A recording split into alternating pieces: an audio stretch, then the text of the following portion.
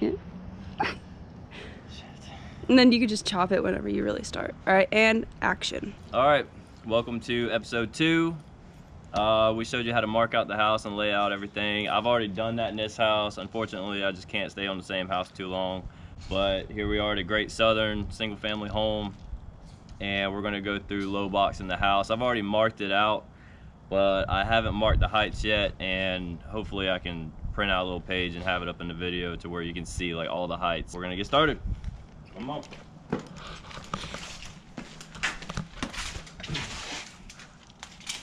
All right, switches I usually have at 48 to the top of the box. So we're just gonna go through here and we're just gonna mark all the heights up so I can just, so I can throw everything up really fast.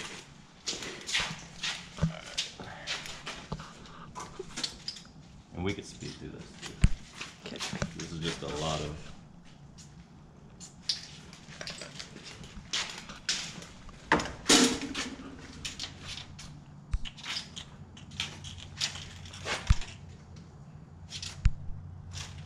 We'll fast forward through all of that. Okay. Do I have to tap the screen? No, you don't. You just record if you want. Okay. But I like seeing what I'm.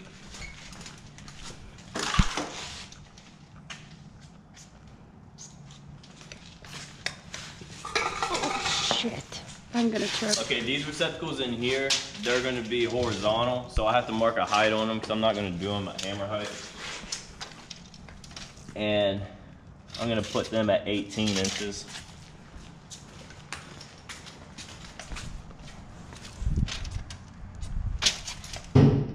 Already fucking up. Okay, with outside receptacles, I don't really care what height I put them at. Like, if there's only one receptacle for the porch, like, as long as you can't see two outside receptacles by standing back from it, like, you don't want them all fucked up in different heights. But if they are right next to each other, like this plan is almost next to each other, I'm going to put them at the same height so they don't look jacked up from the street. So I'm just gonna make up a measurement because I want to keep it under the window. So I'm gonna say 12. 12.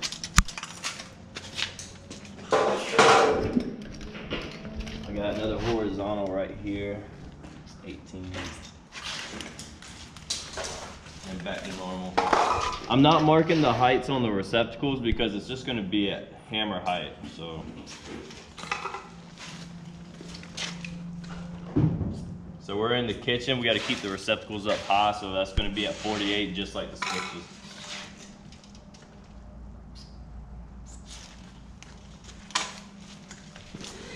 And it's really important in the kitchen to keep the receptacles exactly the same. Like you have to, they have to be perfect because when they put a backsplash up, they're um, when they put a backsplash up at the end, you'll be able to see like from the lines of the tile and you'll be able to see if like one's higher or lower than each other. So like when things are really close and up high next to each other, you gotta make sure that you get the right height.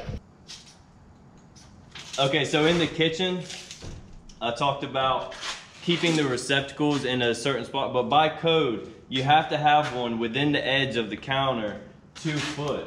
And then every receptacle back there has to be within four foot of each other. I could stretch this out a little further, but I think it's gonna look like shit. So I'm gonna start with this one right here, and I'm gonna add another one in here.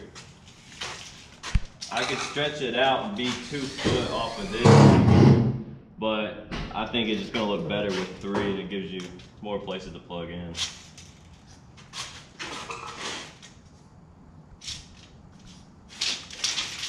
Okay, on these high bar top tops right here, we're gonna end up only keeping one two by four up top. So we're gonna notch out this bottom one because when they come by and they put up uh, their granite or whatever they're gonna do, it's gonna raise it up a little bit. So we gotta cut one out so it's not riding the bottom of the counter. So we got some stuff going right here. We'll end up putting disposal there, dishwasher's right here. But we can, can move on. This is the laundry room. Got some switches.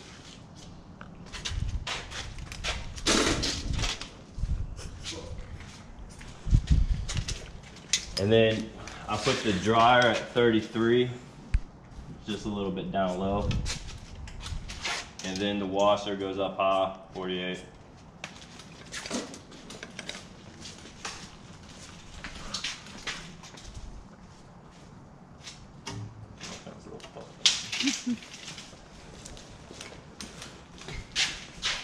Okay, with the island, there's no sink going here, and it's just cabinets. And when there's no sink in the island of the kitchen, all we need is that one receptacle down low, and that'll pass code for it. So as long as we got all, see, we got our pipe ran right here, which I don't know where it's going. But uh, we can find that out later. We'll have to run UF for that receptacle.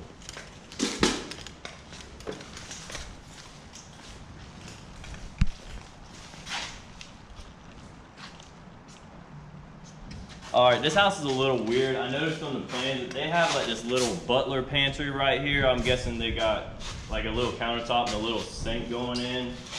I don't know what's up with that, but I'm just gonna follow the plans as usual. All right, into this room. So all we're doing is just marking out the heights of where the switches are going and the up high receptacles just so I don't have to stop once I start.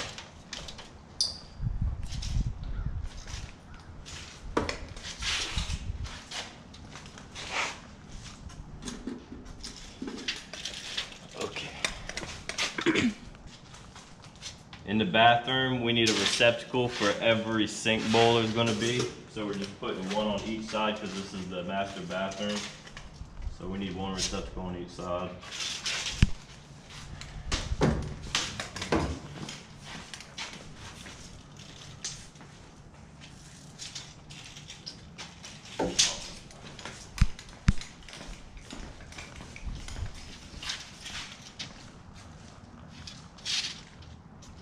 Okay, and I have a weatherproof right here, and like I said up there at the front door, all we need, well, we don't need a height for this one. We can just guess it and throw it up there because there's only one receptacle. You're not gonna see the difference between the back door and the front door. Nobody's gonna go up there and measure unless you're super OCD. Then why are you in the house?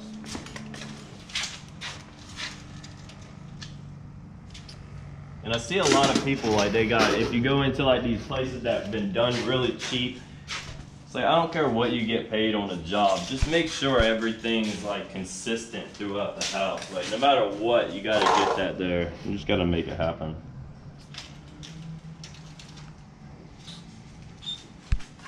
Okay.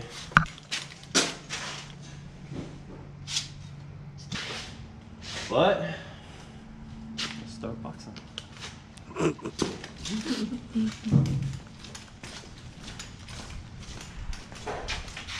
everywhere but the top. No. Okay.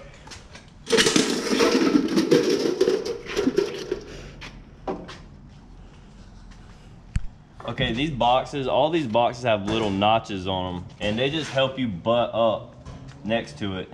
And when you're done boxing, like you want to make sure that it's tight on the wall, not inside the wall because it'll get covered up by the sheet rockers, but make sure like it pokes out that quarter inch that it gives you on these notches.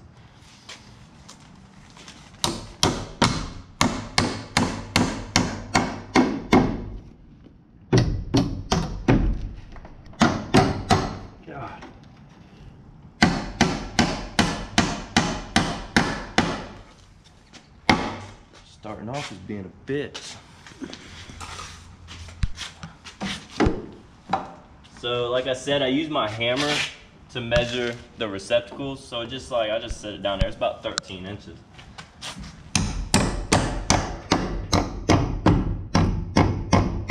Some guys, sometimes new guys don't, sometimes new guys don't understand that concept and it might be easier to mark out a height for them to follow. That way you can walk past it and you can see whether it's on the mark. Trust me, there's a lot of dumbass dudes out there doing this type of work.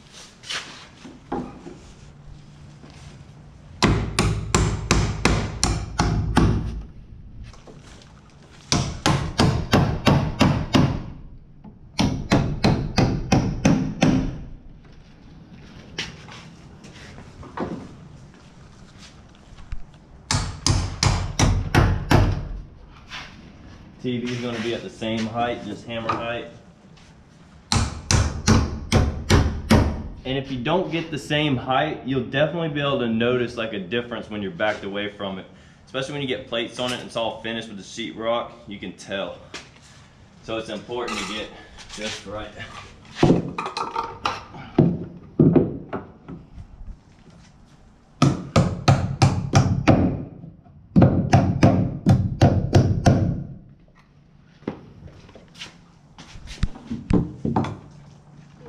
So bad. Hmm.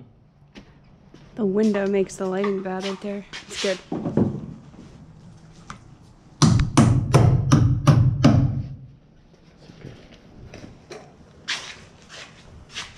What? Gotta be on me.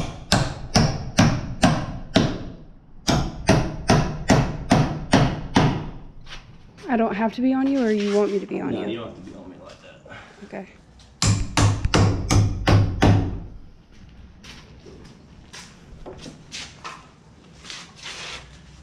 Okay.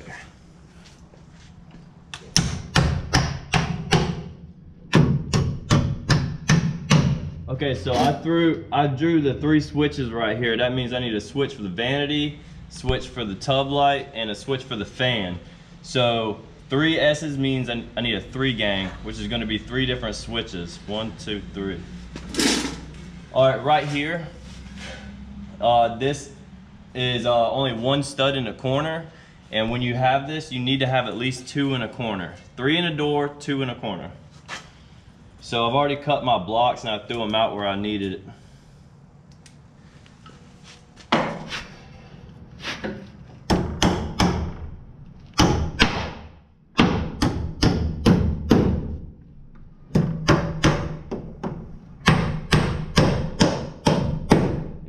Sure your block's sit sitting flush because they do have to put sheetrock up against this.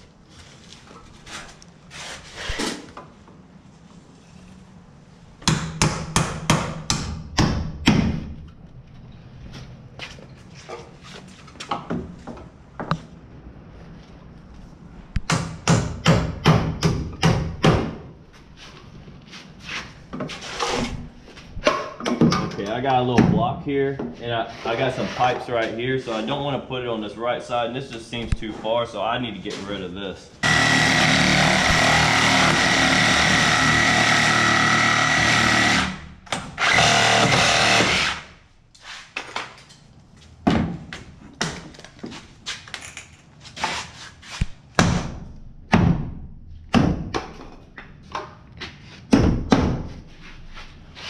Sometimes these two by fours are a little fucked up right there, so you want to make sure you watch your edge of the box and make sure that it's sticking out just the right amount.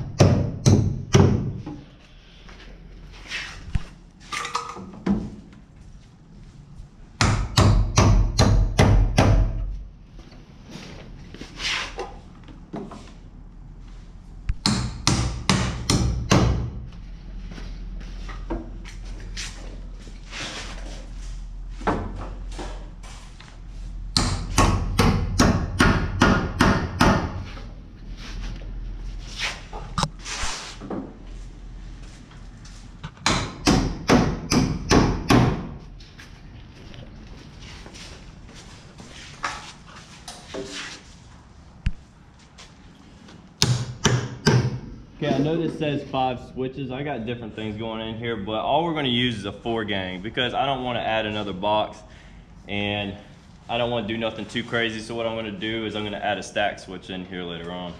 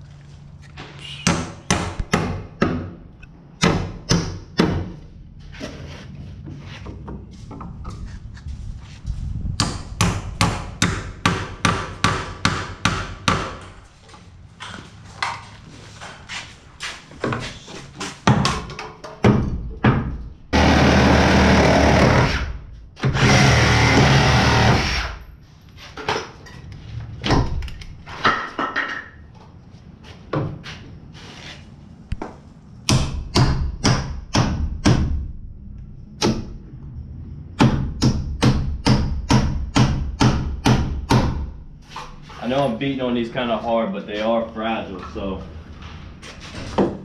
gotta be careful. Especially when it's cold.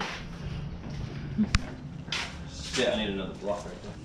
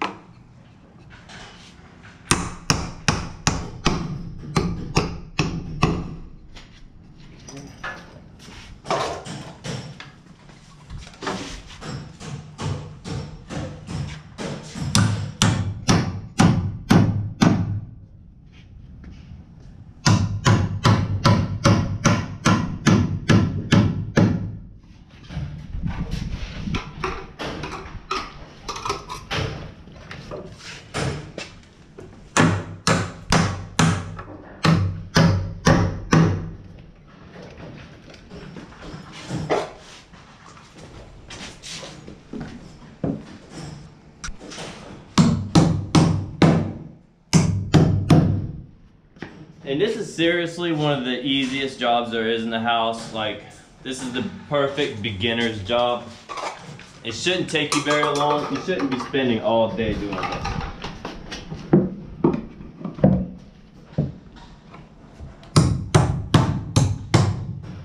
If it takes you all day to low box, I'm gonna wonder what the fuck you're doing.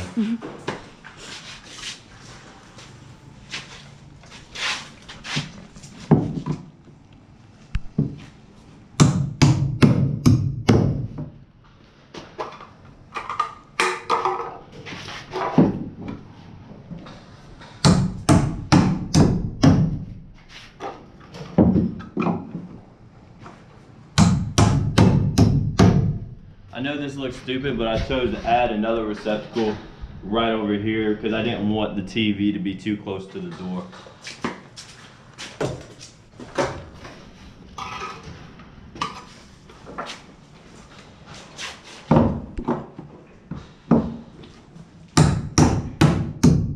Gotta keep that six foot rule.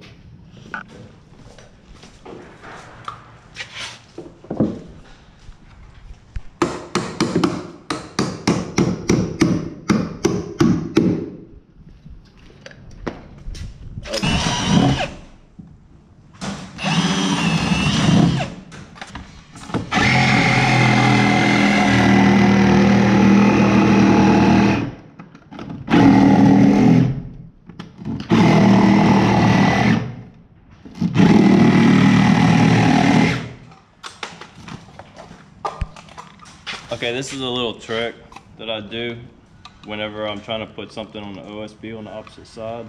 Just flip these nails around.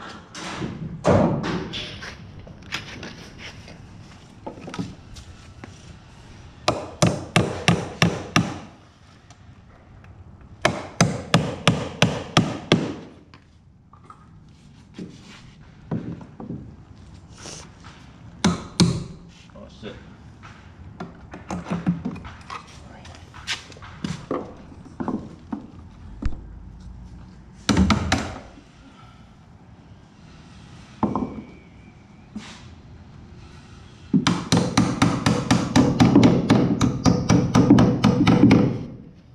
Okay. Right here, uh, I see this problem all the time. I don't have a four gang box, but when I do, I'm gonna put it up here and, and there's not gonna be enough room. And some people would take the easy way, right? Move it down or move it up, but I'm OCD sometimes, so I gotta. So I could beat the fuck out of this and then break this OSB potentially, or you could just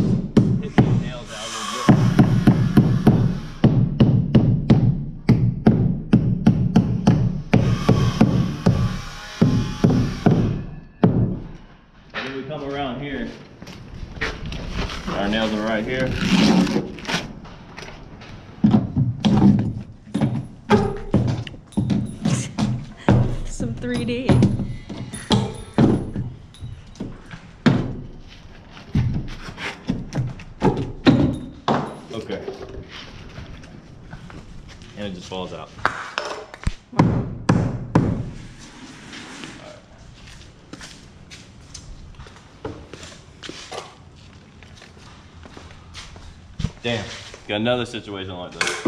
All right, but instead of taking this whole block out, we're just gonna take out what we need.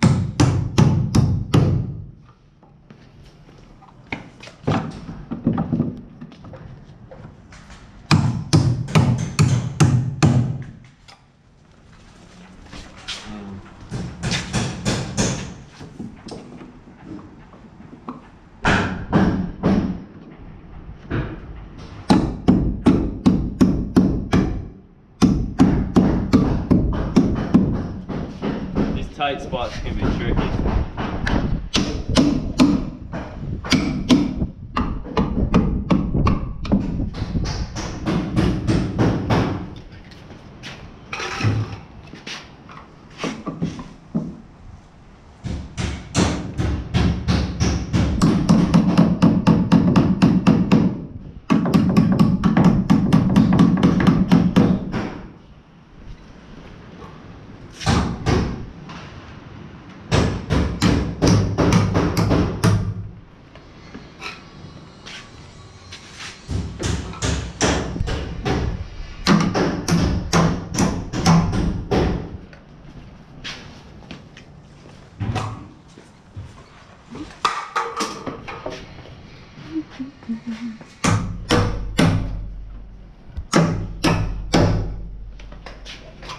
It's important to pay close attention to your planes when you're marking out, or you might forget this stupid receptacle that somebody wants in their closet.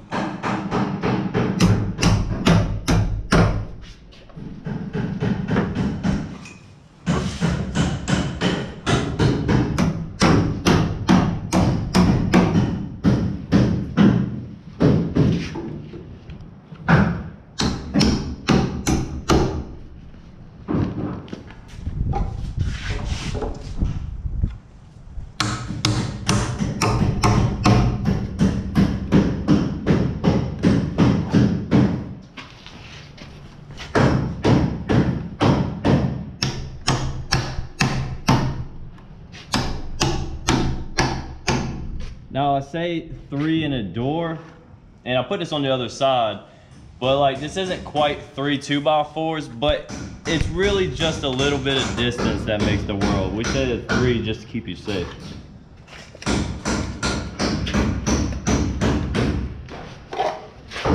And in spots like this, I can put it closer to the door and everything like that. Everything. But in this situation, just put it over here. Make it easier on you.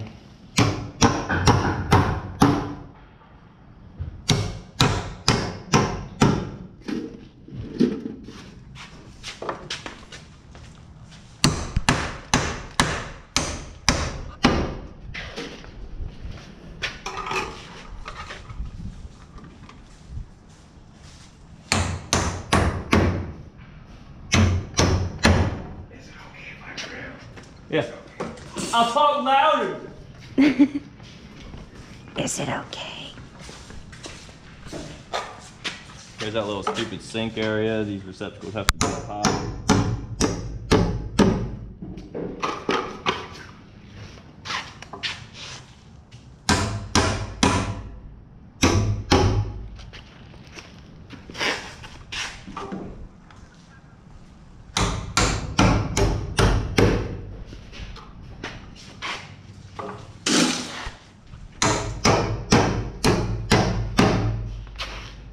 Back side of these bars, these receptacles are going to be down low also.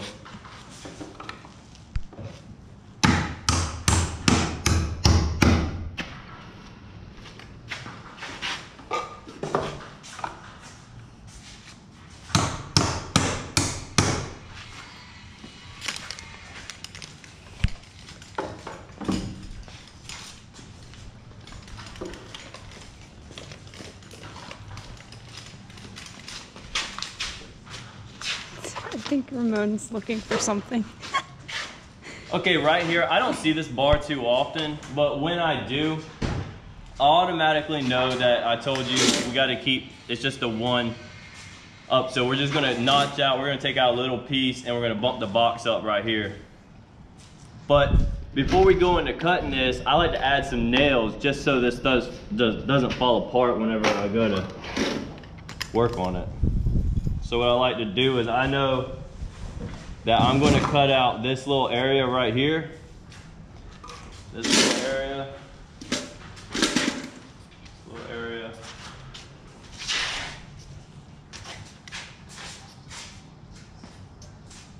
So I know I'm going to cut out those little areas. So what I'll do is I'll take two nails and put one on each side. It'll help, hold it together a little better after after you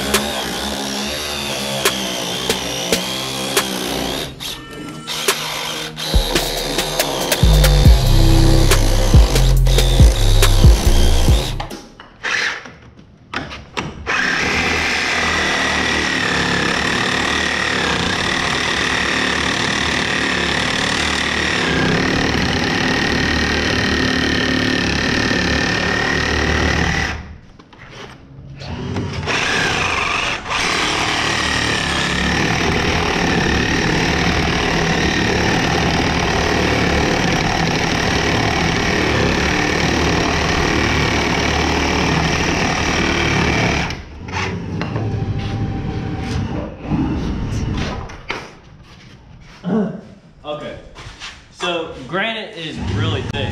So on top of the sheetrock that we're gonna have, we're gonna pull it up as far as we can. See right there, it's gonna be almost an inch out.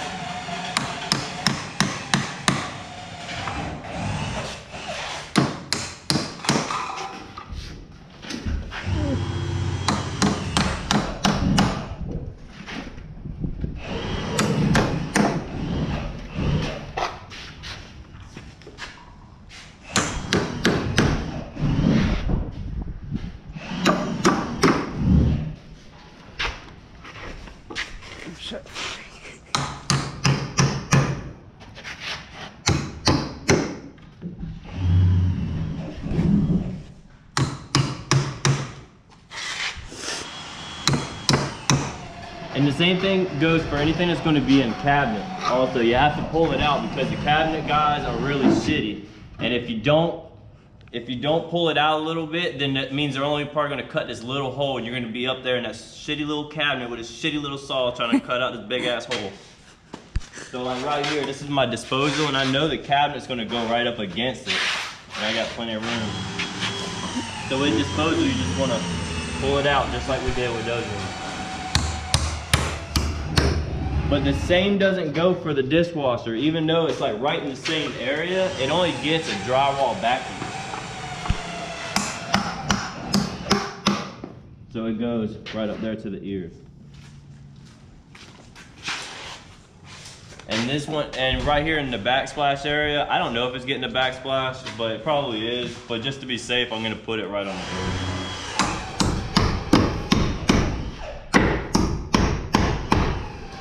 Fuck, oh, you're not. I'll fix that later.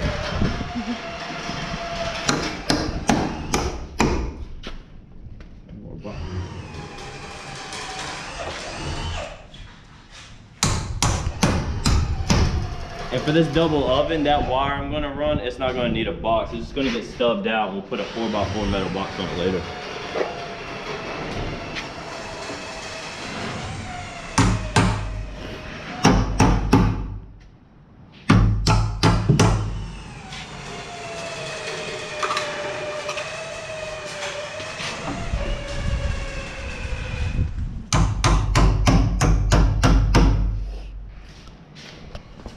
Getting warm.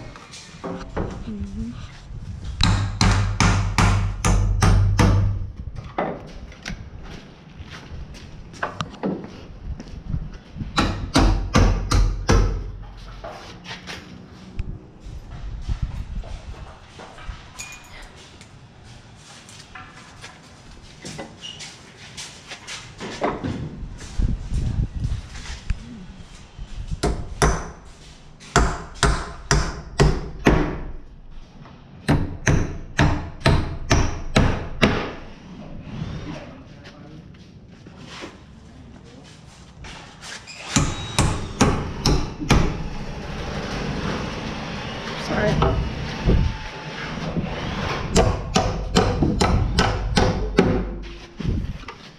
See a two gang? Like I know what a two gang is.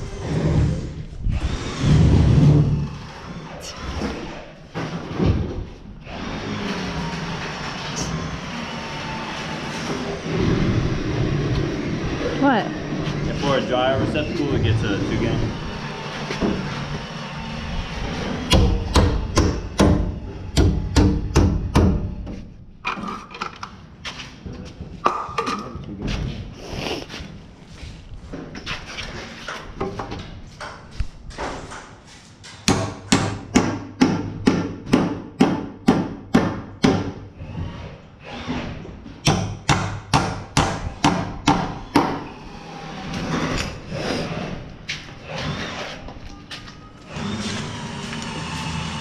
Okay, for the garage, we keep everything up at 48 to the top.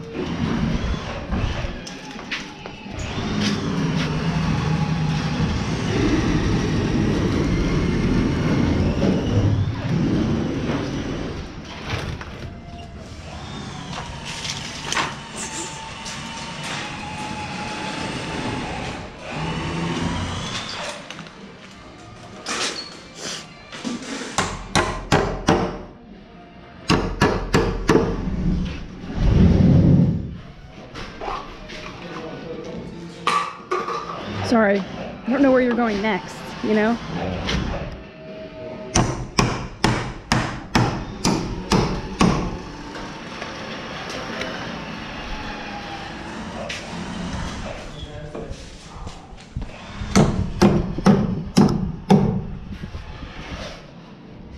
That's it? Should I stop it?